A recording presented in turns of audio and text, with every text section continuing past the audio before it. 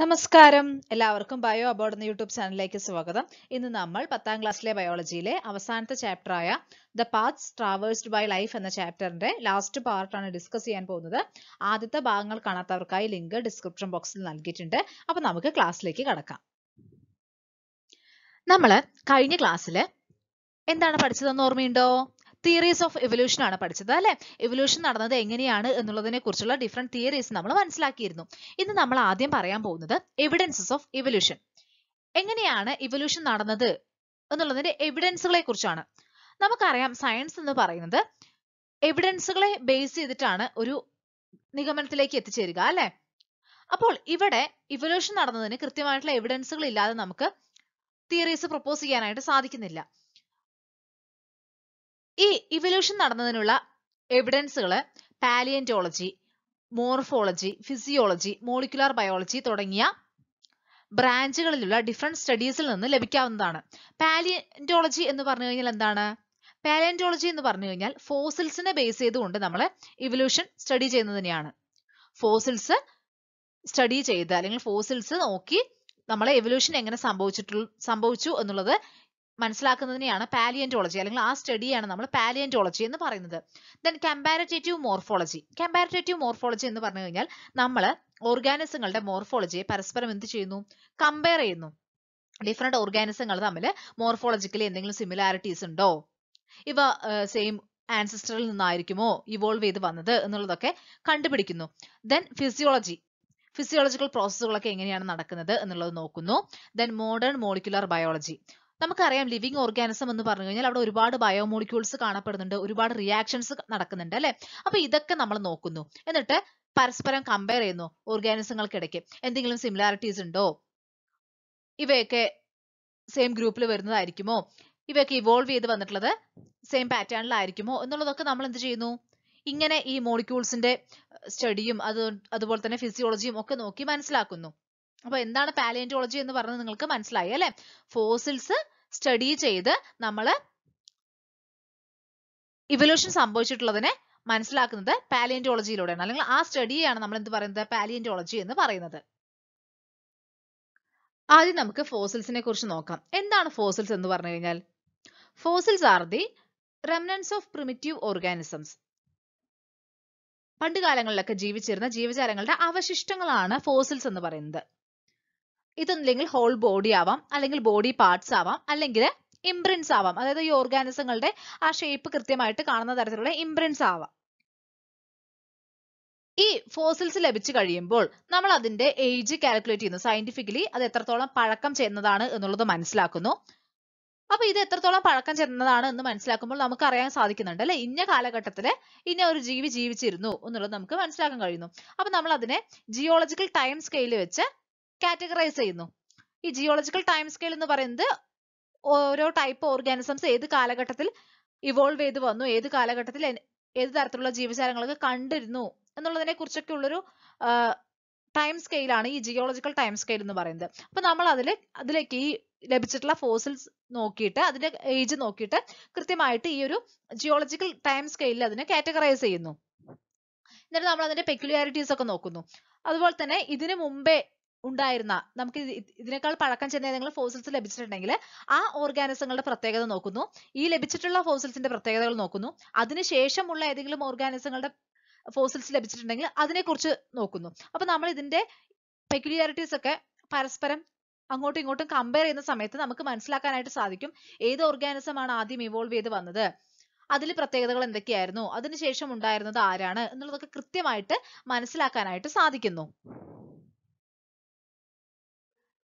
ഏറ്റവും പഴക്കമുള്ള ഫോസിൽ എന്ന് പറയുന്നത് three point five billion years പഴക്കമുള്ള പ്രോകാരിയോട്സിന്റെതാണ് ഒരു ബില്യൺ എന്ന് പറഞ്ഞു കഴിഞ്ഞാൽ തൗസൻഡ് മില്യൺസ് ആണ്. ഒരു മില്യൺ എന്ന് പറഞ്ഞു കഴിഞ്ഞാൽ എന്താണ്? ടെൻ ലാക്ക് ആണ് അല്ലെ പത്ത് ലക്ഷത്തിനാണ് നമ്മൾ വൺ മില്യൺ എന്ന് പറയുന്നത്. ആയിരം മില്യൺ ആണ് വൺ ബില്യൺ അപ്പോ three point five billion years പഴക്കമുള്ള പ്രോകാരിയോട്സിന്റെ ഫോസിൽസ് ലഭിച്ചിട്ടുണ്ട്. അതാണ് ഏറ്റവും പഴക്കം ചെന്ന ഫോസിൽസ്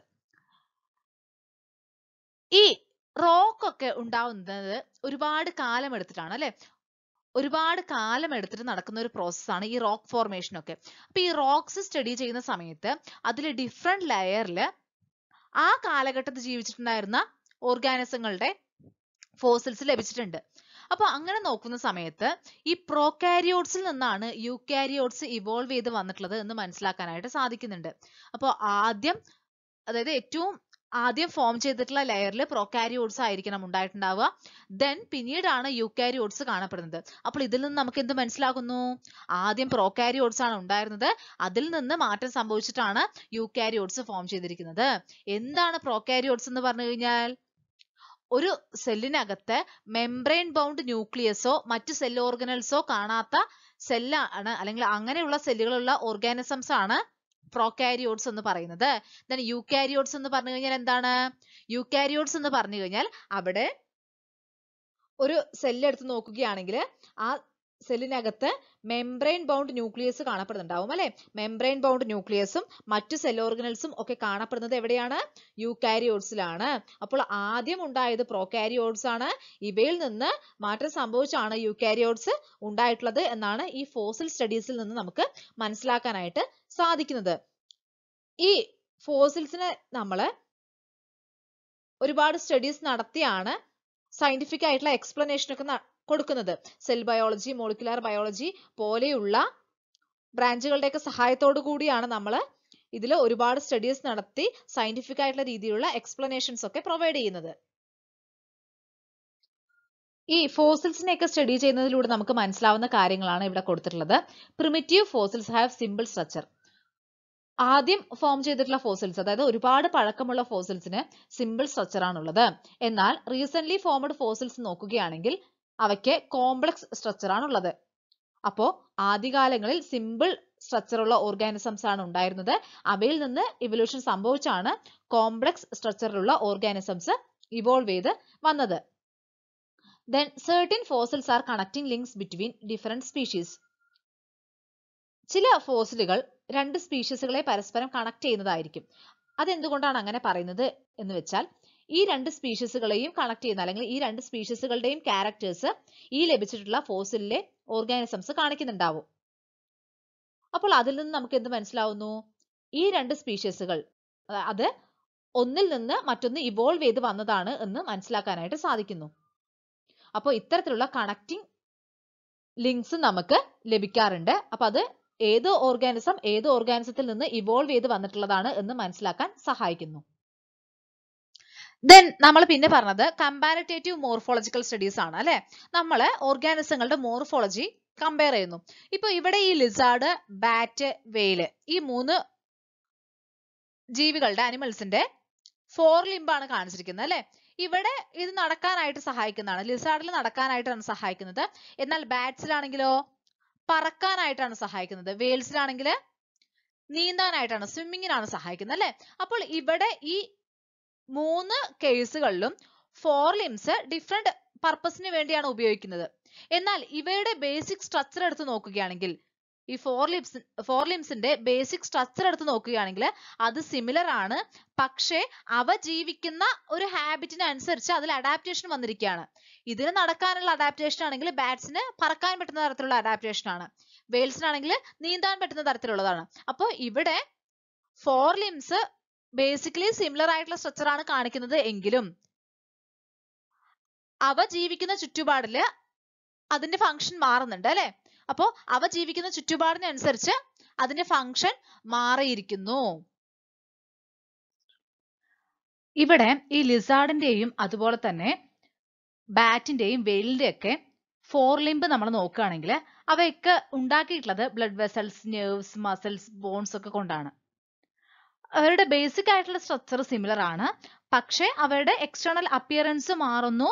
അതുപോലെ തന്നെ അത് ചെയ്യുന്ന ഫംഗ്ഷൻ മാറുന്നു അല്ലെ? അപ്പോ സ്ട്രക്ചറലി സിമിലർ ആയിട്ടുള്ള എന്നാൽ ഡിഫറെന്റ് ഫംഗ്ഷൻ ചെയ്യുന്ന ഓർഗൻസിനെയാണ് നമ്മൾ ഹോമലോഗസ് ഓർഗൻസ് എന്ന് പറയുന്നത്. ഇതുപോലെയുള്ള സിമിലർ സ്ട്രക്ചറിലുള്ള എന്നാൽ ഡിഫറെന്റ് ഫംഗ്ഷൻ ചെയ്യുന്ന ഓർഗൻസിന് നമ്മൾ എന്ത് പറയുന്നു? ഹോമലോഗസ് ഓർഗൻസ് എന്ന് പറയുന്നു. അപ്പൊ ഈ ഹോമലോഗസ് ഓർഗൻസ് എടുത്തു നോക്കുമ്പോൾ നമുക്ക് മനസ്സിലാവുന്നുണ്ട്. ഓരോ ഓർഗാനിസങ്ങളും ജീവിക്കുന്ന ചുറ്റുപാടിനനുസരിച്ചിട്ടുള്ള അഡാപ്റ്റേഷൻ അതിൽ ഉണ്ടായിട്ടുള്ളതാണ് അല്ലെ?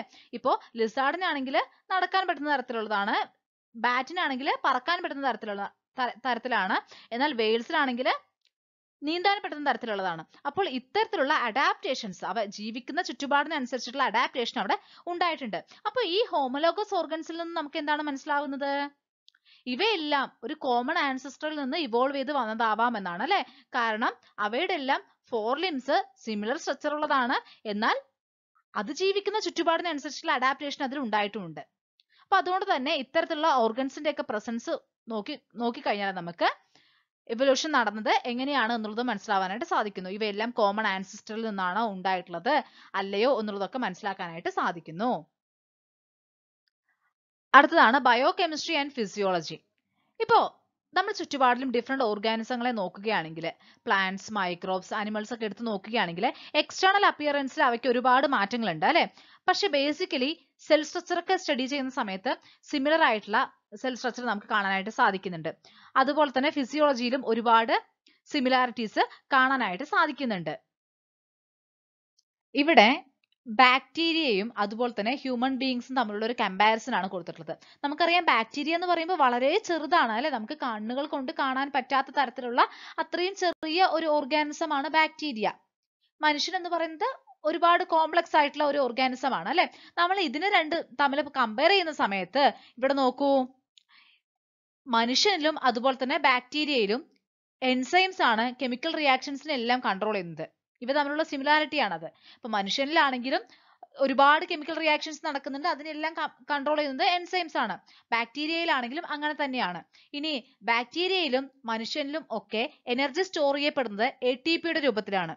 അഡിനോസിൻ ട്രൈഫോസ്ഫേറ്റ് അല്ലെ? എ ടി പിയുടെ രൂപത്തിലാണ് എനർജി സ്റ്റോർ ചെയ്യപ്പെടുന്നത്. പിന്നെ ഹെറിഡിറ്റി ട്രൈറ്റ്സ് കൺട്രോൾ ചെയ്യുന്നത് ഹ്യൂമൻ ബീങ്സിലാണെങ്കിലും ബാക്ടീരിയയിലാണെങ്കിലും അതുപോലെ തന്നെ മറ്റു ലിവിങ് ഓർഗാനിസങ്ങളിലാണെങ്കിലും ഒക്കെ എന്താണ്? ജീൻസ് ആണ്. ജീൻസ് ആണ് ഈ ഹെറിഡിറ്റി ട്രൈറ്റ്സിനെ കൺട്രോൾ ചെയ്യുന്നത്. ദെൻ ബേസിക് ബയോമോളിക്യൂൾസ് എന്ന് പറയുന്നത് കാർബോഹൈഡ്രേറ്റ്സ് പ്രോട്ടീൻസ് ഒക്കെ തന്നെയാണ്. ഫാറ്റ്സ് പോലെയുള്ള മോളിക്യൂൾസ് തന്നെയാണ് ബേസിക് ആയിട്ടുള്ള സബ്സ്റ്റൻസുകൾ അപ്പൊ ബാക്ടീരിയ പോലെയുള്ള ഒരു സിമ്പിൾ ഓർഗാനിസത്തിലും മനുഷ്യനെ പോലുള്ള ഒരു കോംപ്ലക്സ് ഓർഗാനിസത്തിലും ബേസിക് ആയിട്ടുള്ള ബയോമോളിക്യൂൾസ് എന്ന് പറയുന്നത് ഇതൊക്കെ തന്നെയാണ്. അപ്പോൾ ഈ ഫിസിയോളജിയും അതുപോലെ തന്നെ ഈ മോളിക്യൂൾസിനെ ഒക്കെ നമ്മൾ കമ്പയർ ചെയ്ത് നോക്കുന്ന സമയത്ത് ഒരുപാട് സിമിലാരിറ്റീസ് നമുക്ക് ഈ ഓർഗാനിസങ്ങളിൽ കാണാനായിട്ട് സാധിക്കുന്നുണ്ട്. അപ്പോൾ ഒരു സിമ്പിൾ സ്ട്രക്ചർ ആയിട്ടുള്ള ബാക്ടീരിയയും മനുഷ്യനും തമ്മിൽ ഒരുപാട് സിമിലാരിറ്റീസ് കാണുന്നുണ്ട് അല്ലെ? അപ്പൊ നമുക്ക് ഇതിൽ നിന്ന് എന്ത് മനസ്സിലാക്കാനായിട്ട് സാധിക്കുന്നുണ്ട്? ഓരോ ഓർഗാനിസങ്ങളും ഇങ്ങനെ ഒന്നിൽ നിന്ന് ഒന്നിൽ നിന്ന് ഇവോൾവ് ചെയ്ത് വന്നതാണ് എന്നുള്ളത് മനസ്സിലാക്കാനായിട്ട് സാധിക്കുന്നുണ്ട്. അല്ലെങ്കിൽ എല്ലാ ജീവജാലങ്ങളും പരസ്പരം ഒരു കണക്ഷൻ ഉണ്ട് അല്ലെ? ദെൻ മോളിക്കുലാർ ബയോളജി നമുക്കറിയാം എല്ലാ ലിവിങ് ഓർഗാനിസങ്ങളും നിർമ്മിച്ചിരിക്കുന്നത് ഒരുപാട് ബയോമോളിക്യൂൾസ് കൊണ്ടാണ് അല്ലെ? അപ്പൊ ഈ ബയോമോളിക്യൂൾസിന്റെ ഒക്കെ സ്ട്രക്ചർ ഒക്കെ പരസ്പരം കമ്പയർ ചെയ്ത് നോക്കുമ്പോൾ നമുക്ക് മനസ്സിലാക്കാനായിട്ട് സാധിക്കും. ഏതൊക്കെ ഓർഗാനിസങ്ങളാണ് പരസ്പരം ക്ലോസ്ലി റിലേറ്റഡ് ആയിട്ടുള്ളത്? ഏതെല്ലാമാണ് ഒരു കോമൺ ആൻസസ്റ്ററിൽ നിന്ന് ഇവോൾവ് ചെയ്ത് വന്നിട്ടുള്ളത് എന്നുള്ള കാര്യങ്ങളൊക്കെ. ഇപ്പോ ഒരു ജീൻ എടുക്കുകയാണെങ്കിൽ ആ ജീൻ പെർട്ടിക്കുലർ പ്രോട്ടീന്റെ പ്രൊഡക്ഷനെ കൺട്രോൾ ചെയ്യുന്നുണ്ടാവും അല്ലെ? ആ ജീനിൽ എന്തെങ്കിലും മ്യൂട്ടേഷൻ വന്നു കഴിഞ്ഞാൽ എന്ത് സംഭവിക്കുന്നു? ആ ഉണ്ടാവുന്ന പ്രോട്ടീനിലെ അമിനോ ആസിഡ് സീക്വൻസിലും മാറ്റം വരുന്നു. നമ്മൾ ഈ പ്രോട്ടീൻ സിന്തസിസ് ഒക്കെ കഴിഞ്ഞ ചാപ്റ്ററിൽ പഠിച്ചതാണ്. ഓരോ അമിനോ ആസിഡുകൾ ഇങ്ങനെ വന്ന് കൂടിച്ചേർന്നിട്ടാണ് പ്രോട്ടീൻ ഉണ്ടാവുന്നത് എന്നുള്ളതൊക്കെ മനസ്സിലാക്കി. അപ്പോൾ ഒരു ജീനിൽ എന്തെങ്കിലും മാറ്റം സംഭവിച്ചു കഴിഞ്ഞാൽ ആ വരുന്ന അമിനോ ആസിഡുകളുടെ ആ ഉണ്ടാവുന്ന പ്രോട്ടീന്റെ ആ ഒരു സ്ട്രക്ചറിൽ മാറ്റം വരും. അതായത് വരുന്ന അമിനോ ആസിഡുകളുടെ സീക്വൻസ് അങ്ങോട്ടും ഇങ്ങോട്ടും മാറുന്ന ഒരു അവസ്ഥ ഉണ്ടാവും. ഇപ്പോ മനുഷ്യനിലെ ഹീമോഗ്ലോബിന്റെ ബീറ്റാ ചെയിനും അതുപോലെ തന്നെ മറ്റു ഓർഗാനിസങ്ങളുടെ ഹീമോഗ്ലോബിനിലെ ബീറ്റ ചെയിനും തമ്മിൽ നമ്മൾ പരസ്പരം കമ്പയർ ചെയ്യണം. അമിനോ ആസിഡ്സ് എങ്ങനെയാണ് അറേഞ്ച് ചെയ്തിരിക്കുന്നത് എന്നുള്ളത് കമ്പയർ ചെയ്ത് നമുക്ക് കമ്പയർ ചെയ്ത് നോക്കുന്ന സമയത്ത് എങ്ങനെയാണ് ലഭിക്കുന്നത് എന്നുള്ളത് നോക്കാം. ഇവിടെ ചിമ്പാൻസിയുടെയും മനുഷ്യന്റെയും തമ്മിൽ കമ്പയർ ചെയ്യുന്ന സമയത്ത് അതായത് ബീറ്റ ചെയിൻ ഓഫ് ഹീമോഗ്ലോബിൻ. അതാണ് നമ്മൾ കമ്പയർ ചെയ്യുന്നത് മനുഷ്യന്റെയും ചിമ്പാൻസിന്റെയും കമ്പയർ ചെയ്യുമ്പോൾ അവിടെ ഒരു മാറ്റവും ഇല്ല ചിമ്പാൻസിയുടെ ശരീരത്തിൽ കാണപ്പെടുന്ന ഹീമോഗ്ലോബിനിലെ ബീറ്റ ചെയിനും മനുഷ്യന്റെ ശരീരത്തിൽ കാണപ്പെടുന്ന ഹീമോഗ്ലോബിനിലെ ബീറ്റ ചെയിനും ഒരേപോലെയാണുള്ളത്. അവിടെ ഒരു മാറ്റവും കാണപ്പെടുന്നില്ല. എന്നാൽ ഗൊറില്ല എടുത്ത് നോക്കുകയാണെങ്കിലോ ഒരു അമിനോ ആസിഡിൽ മാറ്റം കാണുന്നുണ്ട്. അപ്പൊ ഗൊറില്ല എടുത്ത് നോക്കുമ്പോൾ മനുഷ്യനിലെ ഹീമോഗ്ലോബിനിലെ ബീറ്റ ചെയിനും ഗൊറില്ലയുടെ ഹീമോഗ്ലോബിനിലെ ബീറ്റ ചെയിനും എടുത്തു നോക്കുമ്പോൾ അവിടെ ഒരു അമിനോ ആസിഡിൽ മാത്രമാണ് മാറ്റം കാണുന്നത്. എന്നാൽ റാറ്റ് എടുത്ത് നോക്കുമ്പോൾ നോക്കൂ. റാറ്റും മനുഷ്യനും തമ്മിൽ മുപ്പത്തിയൊന്ന് അമിനോ ആസിഡുകളിൽ മാറ്റമുണ്ട്. അപ്പോ ഇവിടെ നമുക്ക് ഇതിൽ നിന്ന് എന്ത് മനസ്സിലാവുന്നുണ്ട്? ചിമ്പാൻസി മനുഷ്യനും ഭയങ്കര ക്ലോസ്ലി റിലേറ്റഡ് ആയിട്ടുള്ള ഗ്രൂപ്പാണ് അല്ലെ? ചിമ്പാൻസി മനുഷ്യനും തമ്മിൽ ഒരുപാട് ക്ലോസ്ലി റിലേറ്റഡ് ആണ്. എന്നാൽ ഗൊറില്ലയായിട്ട് ചെറിയ ഒരു മാറ്റമേ ഉള്ളൂ അല്ലെ? എന്നാലും ഗൊറില്ലയായിട്ടും ക്ലോസ്ലി റിലേറ്റഡ് ആണ് മനുഷ്യൻ. ആസ് കമ്പയർ ടു റാറ്റ് റാറ്റിനെ കമ്പയർ ചെയ്ത് നോക്കുമ്പോൾ ഗൊറില്ലയായിട്ട് ക്ലോസ്ലി റിലേറ്റഡ് ആണ്. ഇനി റാറ്റ് ആണെങ്കിലോ? ഡിസ്റ്റന്റ്ലി റിലേറ്റഡ് ആണ്. ഇവ തമ്മിൽ ഒരുപാട് സിമിലാരിറ്റീസ് ഒന്നും കാണപ്പെടുന്നില്ല. അപ്പൊ നമ്മൾ ഇങ്ങനെ ഡിഫറെന്റ് ബയോമോളിക്യൂൾസിന്റെ സ്ട്രക്ചർ ഒക്കെ സ്റ്റഡി ചെയ്ത് നോക്കിക്കഴിഞ്ഞാൽ നമുക്ക് ഏതൊക്കെ ഓർഗാനിസങ്ങളാണ് പരസ്പരം ക്ലോസ്ലി റിലേറ്റഡ് ആയിട്ടുള്ളത് എന്നുള്ളത് മനസ്സിലാക്കാനായിട്ട് സാധിക്കുന്നു. ഇൻഡിക്കേറ്റേഴ്സ് നോക്കാം. Which organism is the farthest from humans from the evolutionary point of view why അപ്പൊ നമ്മൾ ഇവിടെ നോക്കിയിട്ടുള്ള മൂന്ന് ഓർഗാനിസങ്ങളുടെ ഉത്തരമാണ് ഇവിടെ പറയുന്നത് കേട്ടോ. റാറ്റ് ആണ് അല്ലെ? ചിമ്പാൻസി ഗോറില്ല റാറ്റ് ഇത് മൂന്നും എടുത്ത് നോക്കുന്ന സമയത്ത് റാറ്റ് ആണ് മനുഷ്യരിൽ നിന്ന് ഒരുപാട് ഡിസ്റ്റന്റ് ആയിട്ടുള്ള അല്ലെങ്കിൽ ഫാർദസ്റ്റ് ആയിട്ട് കാണപ്പെടുന്നത്. എന്തുകൊണ്ടാണ്? നമ്മൾ ഇതിൻ ഈ ഹീമോഗ്ലോബിനിലെ ബീറ്റ ചെയിൻ സ്റ്റഡി ചെയ്ത് നോക്കുന്ന സമയത്ത് റാറ്റ്സും മനുഷ്യനും ഇടയ്ക്ക് മുപ്പത്തിയൊന്ന് അമിനോ ആസിഡുകളുടെ മാറ്റം കാണപ്പെടുന്നുണ്ട്. Which organism is the closest to man from the evolutionary point of view what is the reason for this chimpanzee ആണ് അല്ലെ? ചിമ്പാൻസി ആണ് മനുഷ്യനുമായിട്ട് ഏറ്റവും റിലേറ്റഡ് ആയിട്ട് കാണപ്പെടുന്നത് കാരണം. നമ്മൾ ഹിമോഗ്ലോബിനിലെ ബീറ്റ ചെയിൻ എടുത്ത് നോക്കുന്ന സമയത്ത് മനുഷ്യന്റെതും ചിമ്പാൻസിയുടെതും ഒരുപോലെയാണുള്ളത്. അതുകൊണ്ട് തന്നെ ഇവർ രണ്ടും പരസ്പരം ക്ലോസ്ലി റിലേറ്റഡ് ആണെന്ന് നമുക്ക് മനസ്സിലാക്കാനായിട്ട് സാധിക്കുന്നു. നമുക്കിനി ഹ്യൂമൻ ബീങ്സിന്റെ ഇവല്യൂഷൻ നോക്കാം. ഒരുപാട് സിമിലാരിറ്റി കാണിക്കുന്ന ഓർഗാനിസങ്ങൾ കോമൺ ആൻസിസ്റ്ററിൽ നിന്ന് ഇവോൾവ് ചെയ്ത് വന്നതായിരിക്കാം. അതുകൊണ്ടായിരിക്കാം അവർ ഒരുപാട് സിമിലാരിറ്റീസ് കാണിക്കുന്നത്. നമ്മളിപ്പോൾ മനുഷ്യന്റെ ഇവല്യൂഷൻ ആണ് പഠിക്കാൻ പോകുന്നത് അല്ലെ? നമ്മൾ ഒരുപാട് കേട്ടിട്ടുണ്ട് മങ്കീസിൽ നിന്നാണ് മനുഷ്യൻ ഇവോൾവ് ചെയ്ത് വന്നത് എന്ന് എന്നാൽ അത് ശരിയല്ല. എങ്ങനെയാണ് മനുഷ്യന്റെ ഇവല്യൂഷൻ നടന്നിട്ടുള്ളത് എന്നാണ് നമ്മൾ ഇനി പറയാൻ പോകുന്നത്. മനുഷ്യനും ചിമ്പാൻസിയും ഗൊറിലയും ഒറാങ്കുട്ടാൻ ഒറാങ്കുട്ടാൻ അതുപോലെ തന്നെ ഗിബൺ മങ്കീസ് ഇവയെല്ലാം വരുന്നത് ഒരു ഗ്രൂപ്പിലാണ് ഒരു കാറ്റഗറിയിലാണ്. ആന്ത്രോപോയിഡെ എന്ന് പറയുന്ന കാറ്റഗറിയിൽ ഈ ആന്ത്രോപോയിഡെ വീണ്ടും രണ്ടായി ക്ലാസിഫൈ ചെയ്തിട്ടുണ്ട്. Cercopithecoidea and Hominoidea. ഇതിൽ സെർക്കോപിത്തിക്കോയിഡെ എന്ന കാറ്റഗറിയിലാണ് മങ്കീസ് പെടുന്നത്. എന്നാൽ ഹ്യൂമൻ ബീങ്സ് അതുപോലെ തന്നെ ചിമ്പാൻസി ഗൊറില്ല തുടങ്ങിയ എയ്പ്സ് ഒക്കെ വരുന്നത് ഹൊമിനോയിഡെ എന്ന് പറയുന്ന ഈ ഒരു കാറ്റഗറിയിലാണ്. അപ്പോൾ നോക്കൂ മനുഷ്യൻ വരുന്ന ഗ്രൂപ്പിലെ അല്ല മങ്കീസ് പെടുന്നത്. അതുകൊണ്ട് തന്നെ മങ്കീസിൽ നിന്ന് ഇവല്യൂഷൻ സംഭവിച്ചിട്ടാണ് മനുഷ്യൻ ഉണ്ടായതെന്ന് നമുക്ക് ഒരിക്കലും പറയാനായിട്ട് സാധിക്കുന്നില്ല. ആന്ത്രോപോയിഡെ എന്ന് പറയുന്ന ഈ ഒരു കാറ്റഗറിയിൽ നിന്നും ആദ്യം സെർക്കോപിത്തിക്കോയിഡെ എന്ന് പറയുന്ന ഈ ഒരു ഗ്രൂപ്പ് ഇവോൾവ് ചെയ്ത് വരുന്നു. ആ ഒരു ഗ്രൂപ്പാണ് മങ്കീസ് ഉൾപ്പെടുന്ന ഗ്രൂപ്പ് അല്ലെ? മങ്കീസ് അപ്പോ ആദ്യം തന്നെ ഇവോൾവ് ചെയ്ത് വരുന്നുണ്ട്. ഇവയുടെ പ്രത്യേകത സ്മോൾ ബ്രെയിനും ലോങ് ടൈലും ഉള്ളവയാണ്. ഈ സെർക്കോപിത്തിക്കോയിഡയിൽ വരുന്ന ഓർഗാനിസങ്ങളുടെ പ്രത്യേകത എന്താണ്? അവയ്ക്ക് സ്മോൾ ബ്രെയിൻ ആയിരിക്കും ലോങ് ടൈൽ ആയിരിക്കും. അപ്പൊ ഈ സെർക്കോപിത്തിക്കോയിഡെ എന്ന് പറയുന്ന ഈ ഒരു കാറ്റഗറിയാണ് മങ്കീസ് ഒക്കെ വരുന്നത്. അപ്പൊ ഈ മങ്കീസ് അങ്ങനെ ആദ്യം തന്നെ ഇവോൾവ് ചെയ്ത് വരുന്നുണ്ട്. ദെൻ പിന്നീടാണ് ഹൊമിനോയിഡെ എന്ന് പറയുന്ന ഈ ഒരു ഗ്രൂപ്പ് ഇവോൾവ് ചെയ്ത് വരുന്നത്. ഇതിൽ തന്നെ ഡിഫറെന്റ് അനിമൽസ് ഉണ്ടാവുന്നുണ്ട്. ഗിബൺ ഉണ്ടാവുന്നു ദെൻ ഒറാങ്കുട്ടാൻ ഉണ്ടാവുന്നു ഗൊറില്ല ഉണ്ടാവുന്നു ചിമ്പാൻസി മനുഷ്യൻ ഇതൊക്കെ ഉണ്ടാവുന്നു. ഇതൊക്കെ ഡിഫറെന്റ് ആയിട്ട് ഇങ്ങനെ ഇവോൾവ് ചെയ്ത് വരികയാണ്. ഈ ചിമ്പാൻസിയും മനുഷ്യനും കോമൺ ആൻസിസ്റ്ററിൽ നിന്നാണ് ഇവോൾവ് ചെയ്ത് വരുന്നത്. അതുകൊണ്ട് തന്നെ ഇവയ്ക്ക് രണ്ടിനും ഒരുപാട് സിമിലാരിറ്റീസ് ഉണ്ട്. ഇവയ്ക്കെല്ലാം ഒരുപാട് സിമിലാരിറ്റീസ് ഉണ്ടാവും. എന്നാലും മറ്റു അനിമൽസിനെ കമ്പയർ ചെയ്ത് നോക്കുമ്പോൾ മനുഷ്യനും ചിമ്പാൻസിയുമാണ് ഏറ്റവും കൂടുതൽ സിമിലാരിറ്റീസ് കാണിക്കുന്നത്. ഈ സിമിലാരിറ്റീസ് എന്താണ് ഇൻഡിക്കേറ്റ് ചെയ്യുന്നത്? ചിമ്പാൻസിയും മനുഷ്യനും കോമൺ ആൻസിസ്റ്ററിൽ നിന്നാണ് ഇവോൾവ് ചെയ്ത് വന്നത് എന്നാണ് ഇൻഡിക്കേറ്റ് ചെയ്യുന്നത്. അപ്പോൾ മങ്കിയിൽ നിന്ന് മനുഷ്യൻ ഇവോൾവ് ചെയ്ത് വന്നതല്ല അല്ലെ? മങ്കി എന്ന് പറയുന്ന ഈ ഒരു ഗ്രൂപ്പ് ആദ്യം തന്നെ ഇവോൾവ് ചെയ്ത് വന്നു. പിന്നീട് ഹൊമിനോയിഡെ എന്ന് പറയുന്ന ഈ ഒരു കാറ്റഗറിയിൽ നിന്നാണ് ആര് ഇവോൾവ് ചെയ്ത് വരുന്നത്? മനുഷ്യൻ ഇവോൾവ് ചെയ്ത് വരുന്നത്. രണ്ടും രണ്ട് ഗ്രൂപ്പാണ് അല്ലെ? വ്യത്യസ്ത ഗ്രൂപ്പുകളിലാണ് ഈ മങ്കിയും അതുപോലെ തന്നെ മനുഷ്യനും ഉൾപ്പെടുന്നത്.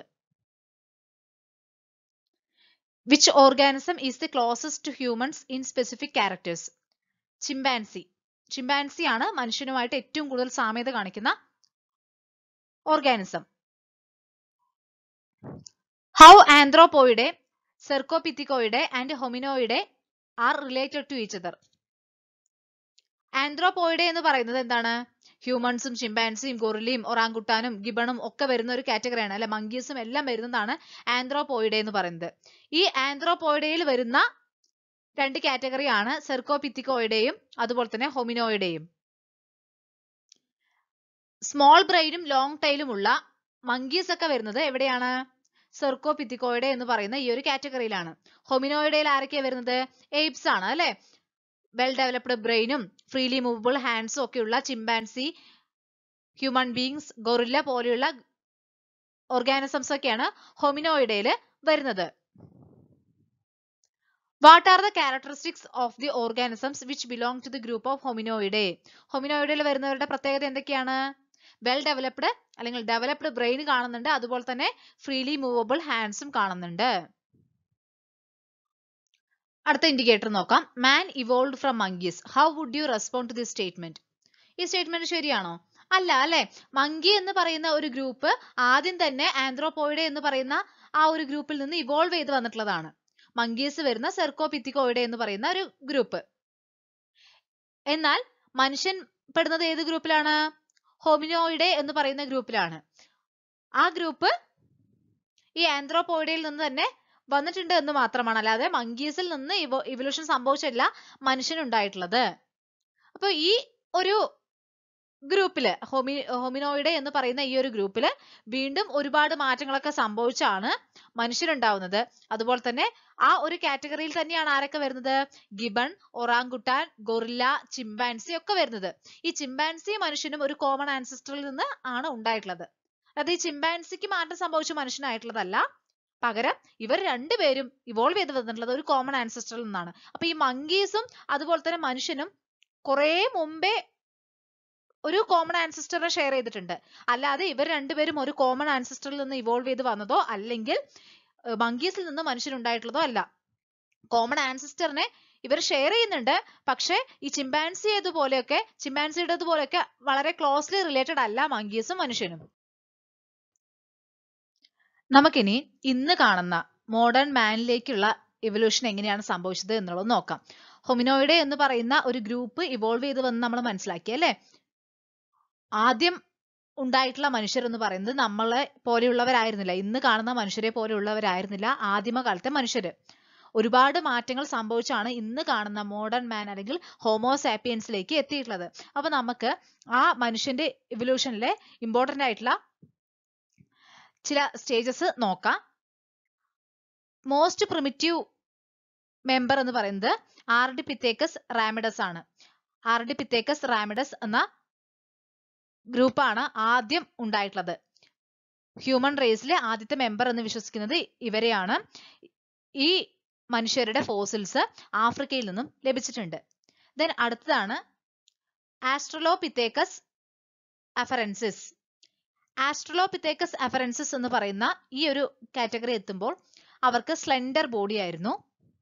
ഇവരുടെ ഫോസിൽസും ആഫ്രിക്കയിൽ നിന്ന് തന്നെയാണ് കണ്ടുപിടിച്ചിട്ടുള്ളത്. ദെൻ അടുത്തതാണ് ഹോമോ ഹാബിലസ് ഹോമോ എന്നുള്ളത് ഇപ്പോൾ ഉള്ള സെയിം ജീനസ് ആണ് അല്ലെ? ഹോമോ ഹാബിലസ് എന്ന് പറയുന്ന ഗ്രൂപ്പ് വരുന്നു അടുത്തത്. ഇവർക്ക് ആയുധങ്ങൾ വെപ്പൺസ് ഒക്കെ ഉണ്ടാക്കാനുള്ള കഴിവുണ്ടായിരുന്നു. സ്റ്റോൺസ് യൂസ് ചെയ്തിട്ടും അതുപോലെ തന്നെ ബോൺ പീസസ് കൊണ്ടൊക്കെ വെപ്പൺസ് ഉണ്ടാക്കാനുള്ള കഴിവ് ഈ ഹോമോ ഹാബിലസ് എന്ന് പറയുന്ന ഈ ഗ്രൂപ്പിൽ പെടുന്നവർക്ക് ഉണ്ടായിരുന്നു. ഇവരുടെ ഫോസിൽസും ആഫ്രിക്കയിൽ നിന്ന് തന്നെയാണ് കണ്ടുപിടിക്കപ്പെട്ടിട്ടുള്ളത്. പിന്നെ അടുത്തതാണ് Homo erectus Homo erectus Homo erectus എന്ന് പറയുന്നത് തിക് ചിന്നും അതുപോലെ തന്നെ ലാർജ് ടീത്തും ഒക്കെ ഉള്ളവരായിരുന്നു.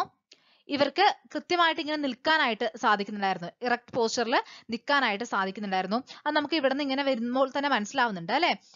ആദ്യം ശരിക്കും ഈ ചിമ്പാൻസി ഒക്കെ പോലെയുള്ള ഒരു രൂപം തന്നെയാണ് അല്ലെ?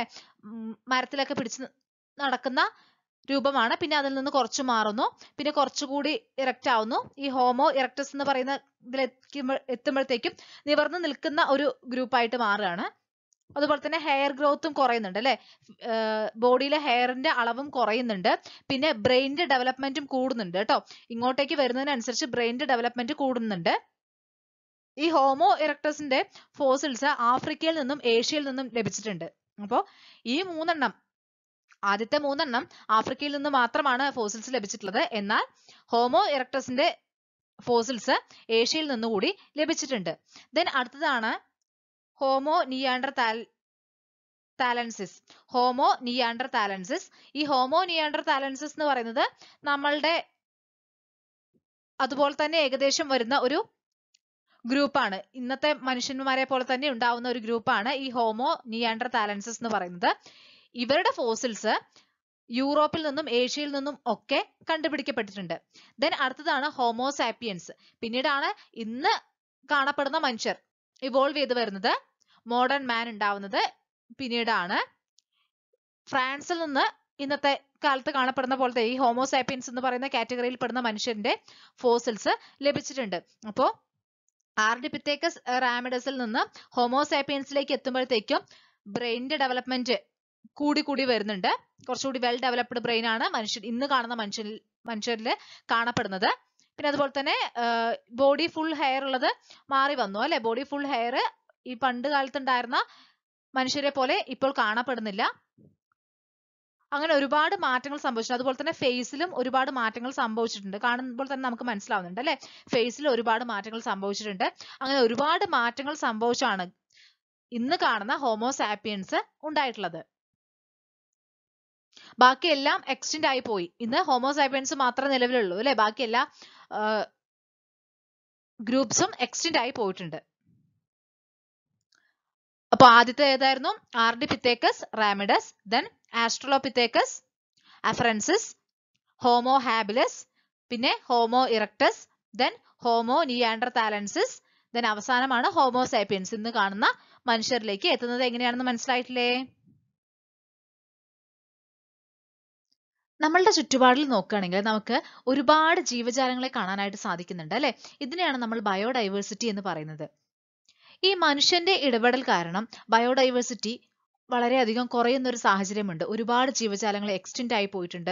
അതുപോലെ തന്നെ ഒരുപാട് ജീവജാലങ്ങളുടെ എണ്ണം വളരെ കുറഞ്ഞിട്ടുണ്ട്. ഇതൊക്കെ മനുഷ്യന്റെ ഇടപെടൽ കാരണമാണ്. ഈ മനുഷ്യൻ ഇങ്ങനെ പ്രകൃതിയെ ചൂഷണം ചെയ്യുന്നതുകൊണ്ട് ഒരുപാട് ജീവജാലങ്ങൾ നശിച്ചു പോകുന്നു. പ്രകൃതിക്ക് തന്നെ ഒരുപാട് പ്രശ്നങ്ങൾ ഉണ്ടാവുന്നു. ഇത് മനുഷ്യന്റെ നിലനിൽപ്പിനെ തന്നെ ബാധിക്കുന്നുണ്ട്. പക്ഷെ അത് മനുഷ്യന്മാര് തിരിച്ചറിയുന്നില്ല. നമ്മൾ ഈ ഇവല്യൂഷൻ നോക്കുകയാണെങ്കിൽ ഈ ഇവല്യൂഷൻ നോക്കുന്ന സമയത്ത് ഓരോ കാലഘട്ടത്തിലും ഒരുപാട് ജീവജാലങ്ങൾ ഒരുമിച്ച് എക്സ്റ്റെൻഡ് ആയി പോകുന്ന ഒരു സാഹചര്യം ഉണ്ടാവുന്നുണ്ട്. നമ്മളിപ്പോ ഈ സമയം വരെ കണക്കാക്കുകയാണെങ്കിൽ അഞ്ച് മാസ് എക്സ്റ്റെൻഷൻസ് സംഭവിച്ചിട്ടുണ്ട് എന്നാണ് പറയപ്പെടുന്നത്. നമുക്കറിയാം ഡൈനോസേഴ്സ് ഒക്കെ ഉണ്ടായിരുന്നു അല്ലെ? ഡൈനോസേഴ്സ് ഒക്കെ ഉണ്ടായിരുന്നു അതിന്റെ ഫോസിൽസ് ഒക്കെ ലഭിച്ചിട്ടുണ്ട്. പക്ഷെ അങ്ങനെയുള്ള ജീവജാലങ്ങൾ ഇപ്പോൾ കാണപ്പെടുന്നില്ല. അപ്പോൾ ഇതൊക്കെ എന്താണ് എക്സ്റ്റെൻഡ് ആയി പോയിരിക്കുകയാണ്. മാസ് എക്സ്റ്റെൻഷൻ നമ്മളുടെ ഈ ഒരു ഇവല്യൂഷൻ നോക്കുന്ന സമയത്ത് കാണാനായിട്ട് സാധിക്കുന്നുണ്ട്. അഞ്ച് മാസ് എക്സ്റ്റൻഷൻസ് സംഭവിച്ചിട്ടുണ്ട് ഇതുവരെ അങ്ങനെ നമ്മളുടെ chapter തീർന്നിരിക്കുകയാണ്. The path traversed by life എന്ന ചാപ്റ്റർ തീർന്നിരിക്കുകയാണ്. എന്തെങ്കിലും സംശയങ്ങളോ അഭിപ്രായങ്ങളോ ഒക്കെ ഉണ്ടെങ്കിൽ കമന്റ് ചെയ്യുക. നമുക്കിനി റിവിഷൻ സ്റ്റാർട്ട് ചെയ്യാം. അതുപോലെ തന്നെ ഈ ചാപ്റ്ററിലെ ടെക്സ്റ്റ് ബുക്കിലെ ചോദ്യങ്ങൾക്കുള്ള ഉത്തരങ്ങൾ കണ്ടുപിടിക്കാം. പിന്നെ പഴയ ചോദ്യപേപ്പറുകളിൽ നിന്നും എടുത്തിട്ടുള്ള ചോദ്യങ്ങൾ നമുക്ക് നോക്കാം. മലയാളം മീഡിയം സ്റ്റുഡൻസിന് വേണ്ടിയുള്ള റിവിഷൻ സ്റ്റാർട്ട് ചെയ്തു. ഇംഗ്ലീഷ് മീഡിയം സ്റ്റുഡൻസിനുള്ള റിവിഷൻ പെട്ടെന്ന് തന്നെ സ്റ്റാർട്ട് ചെയ്യുന്നതായിരിക്കും. അപ്പോൾ നിങ്ങൾക്ക് ഈ വീഡിയോ ഇഷ്ടപ്പെടുകയാണെങ്കിൽ ലൈക്ക് ചെയ്യാനും ഷെയർ ചെയ്യാനും ബയോ അബോർഡ് എന്ന ചാനൽ സബ്സ്ക്രൈബ് ചെയ്യാനും മറക്കരുത്. താങ്ക്